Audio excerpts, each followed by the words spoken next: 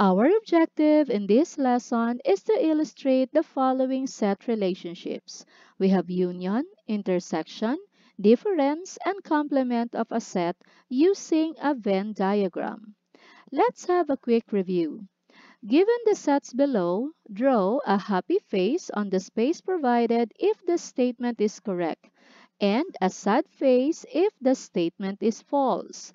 Given, universal set contains 2, 4, 6, 8, 10, 12, and 14. Number 1. The cardinality of the universal set is equal to 7. Let us count the number of the elements 1, 2, 3, 4, 5, 6, 7. So this is a happy face. Number 2. Empty set is a subset of the universal set. We have learned from our previous lesson that an empty set is a subset of every set. So, an empty set is a subset of the universal set. This is a happy face. Number 3, elements 4, 8, 12 is a subset of the universal set. Do we have 4, 8, and 12 here? Yes, we do. Therefore, this is a happy face. Number 4, the universal set is an infinite set. We have counted the elements in the universal set, so therefore this is not an infinite set, but a finite set. Number 4 is a sad face. Number 5, the universal set is a well-defined set. These are even numbers from 2 to 14, so this is a well-defined set. Happy face. Next, number 6, the universal set contains all natural numbers less than 15. Natural numbers less than 15 is starts from 1 up to 14. But we do not have 1 here, 3, 5, 7, and the in-between numbers. So therefore, this is a sad face. Let us define Venn diagram. It is a pictorial representation of relations and operations on set. It is named after English logician John Venn. To give you an idea, here are the common Venn diagrams that we use. The first set relationship that we are going to discuss is the union of sets. Given sets A and B, union of sets denoted by this symbol is the set of all elements found in set A or in set B or in both A and B. The set builder notation of this is A union B is the set of all x such that x is an element of A or x is an element of B or x is an element of A and B. The Venn diagram for union of sets is this one. These are the elements of set A. These are the elements of set B. These are the common elements of A and B. Let's have an example. So set A contains the elements January, June, and July. Set B contains the elements January, February, March, April, May, and June, the first six months of the year.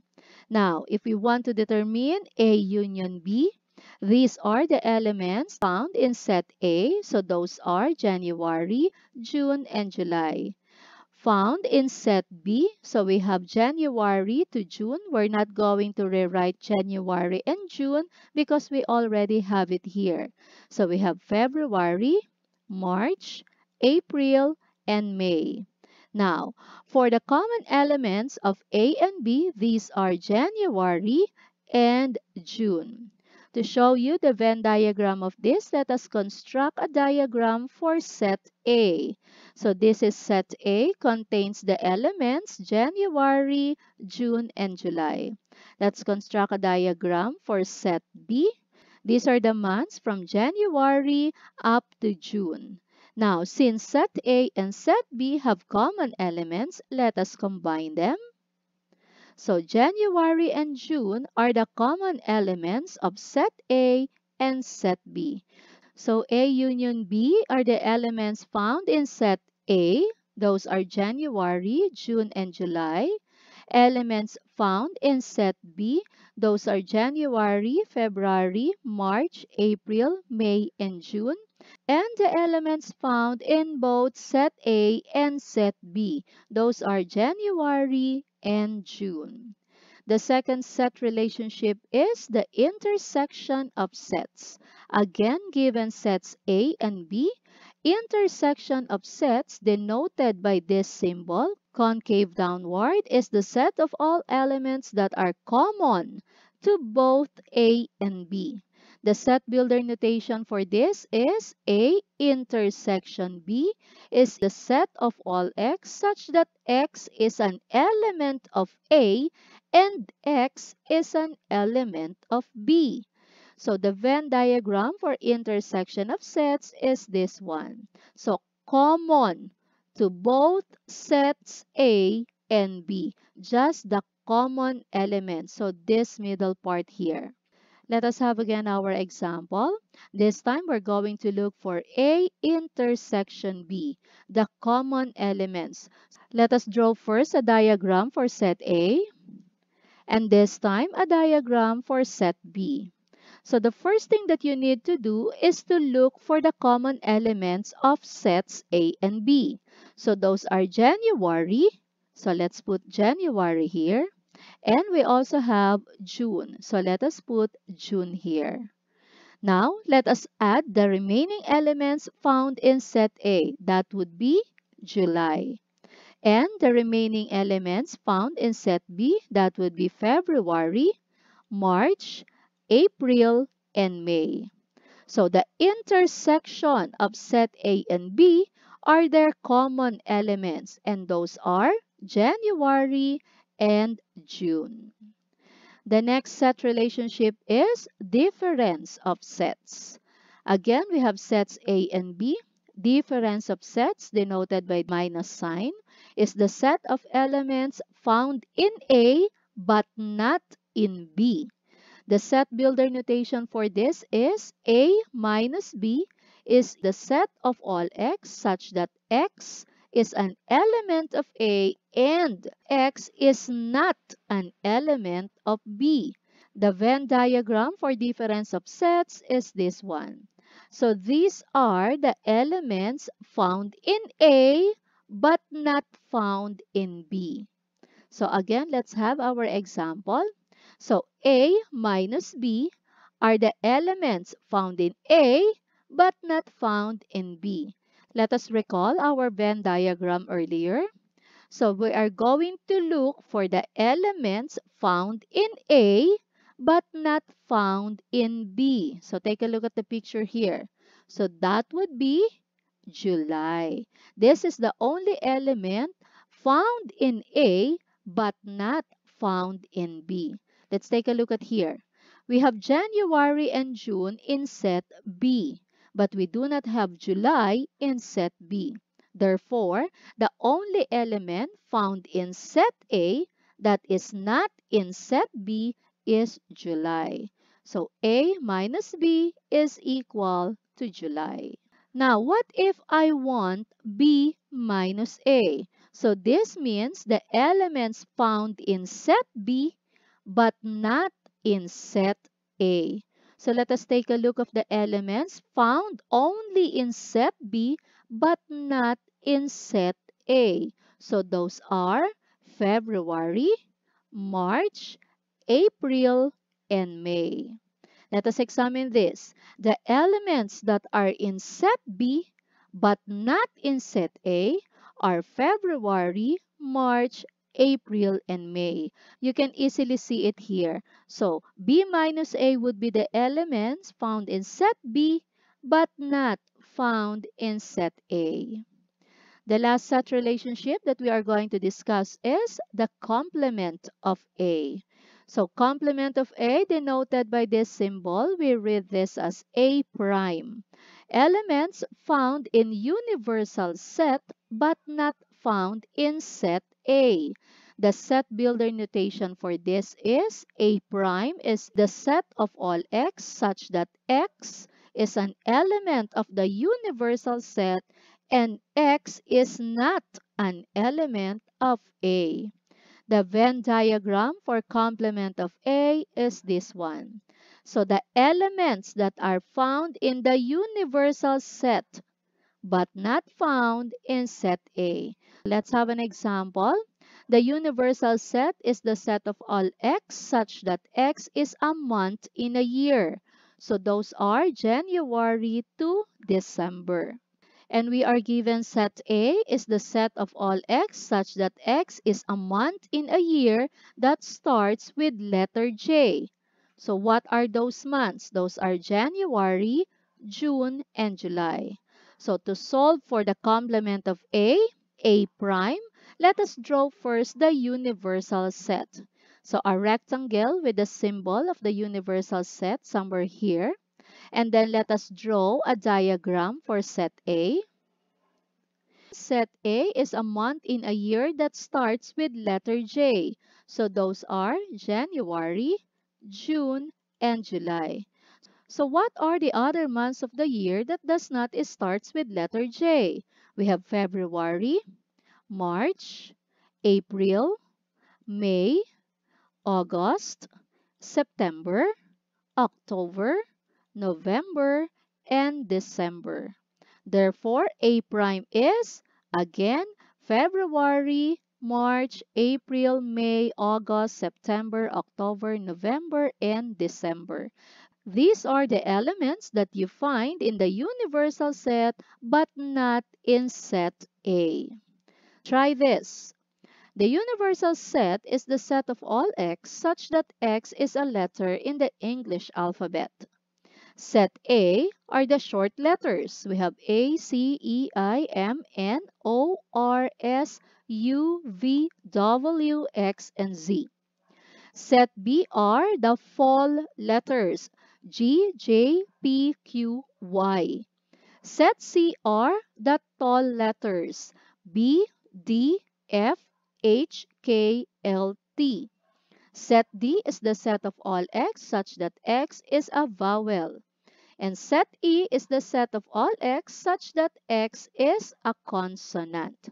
Number one, B, what symbol is this again? Intersection.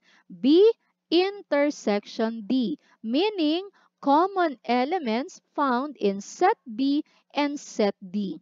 What is set B? These are the fall letters. And what is set D? Set D is A, E, I, O, U. So there are no common elements, so our answer is null set.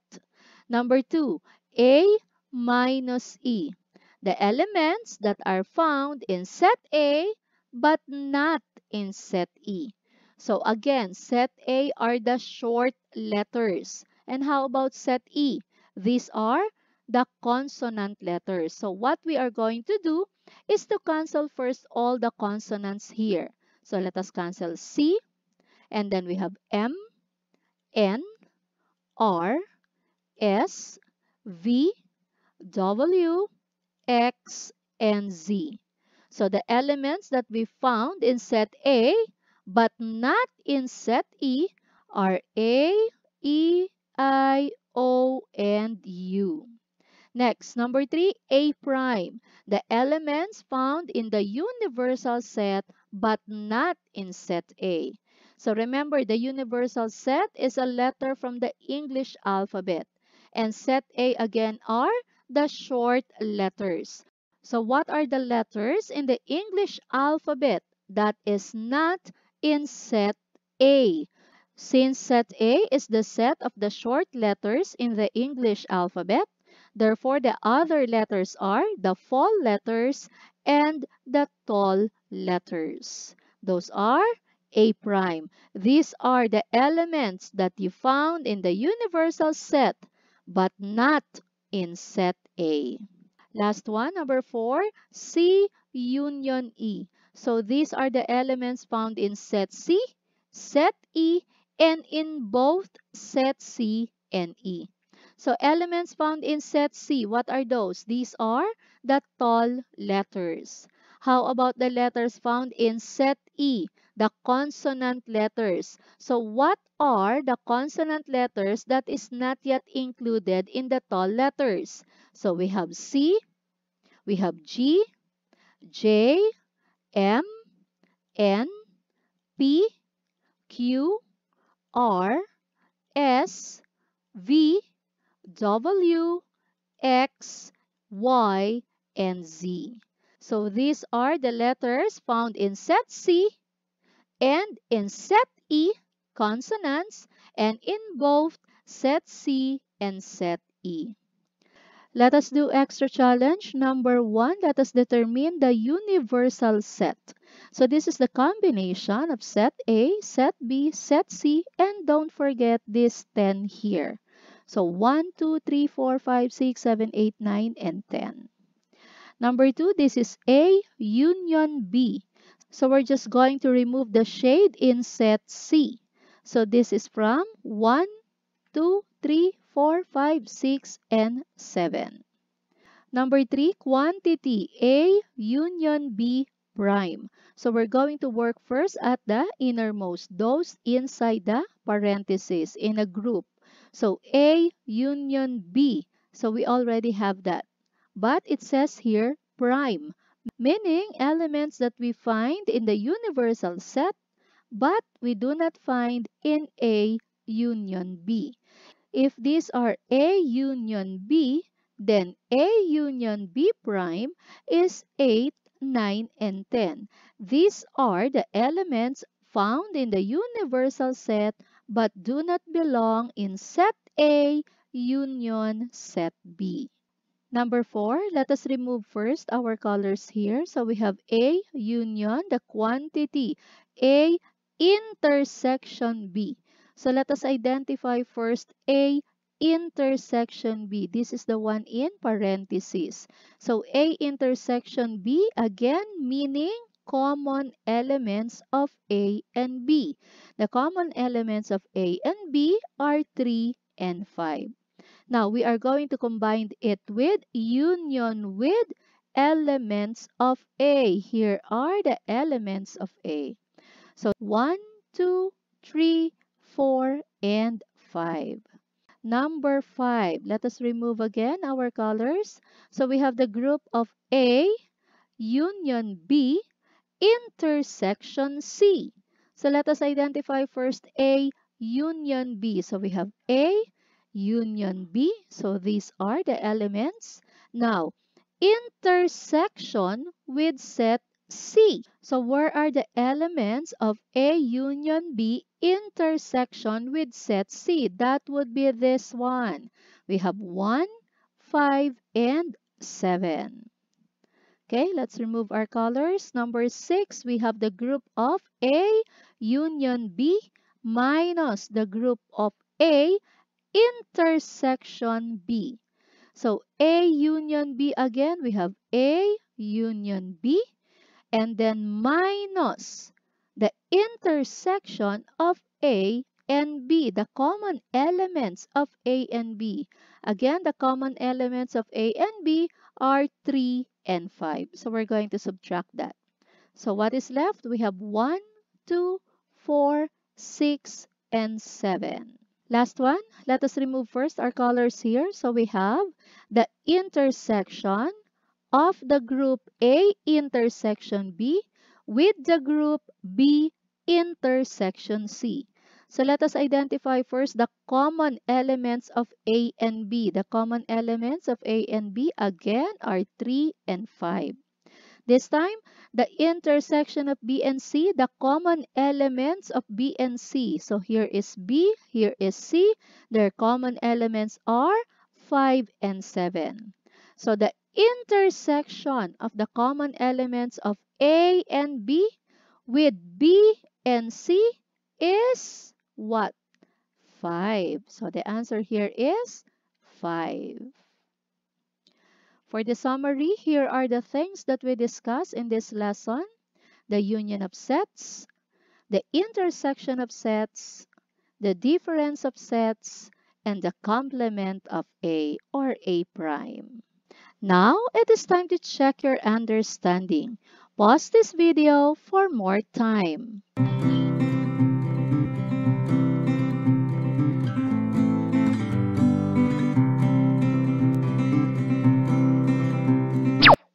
Let us answer. We are given the universal set from 0 up to 10.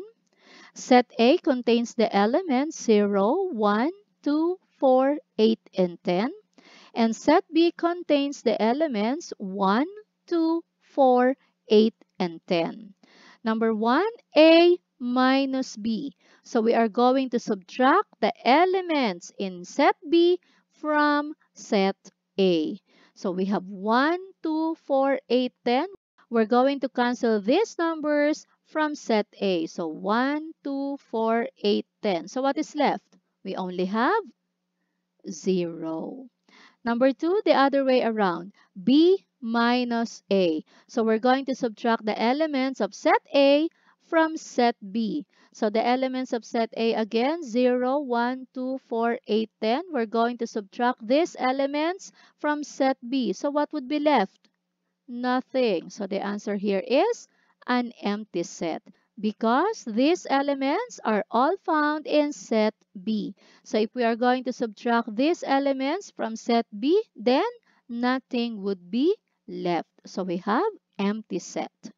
Number three, we have B intersection A prime. So A prime again are the elements found in the universal set but not found in A. So let us cancel first the elements that we see in set A in our universal set to determine A prime. So we have here 0, so let us cancel 0. Let us cancel 1, 2, 4, 8, and 10. So this means our A prime contains the elements 3, 5, 6, 7, and 9. Now, we already have the A prime. Let us get the intersection of A prime with set B, meaning the common elements of set B and A prime. So here is set B. Let us look for their common elements. 1, no. 2, no. 4, no. 8, no. 10, no. So it means there is no common element of set B and A prime. So once again, our answer here is an empty set. Last one, number 4, B union A prime. So these are the elements found in B, in A prime, and in both B and A prime. So we're just going to combine the elements in set B and A prime. So that would be 1, 2, 3, 4, 5, 6, 7, 8, 9, and 10. Gets? Our next lesson is solving problems involving sets with the use of Venn diagram.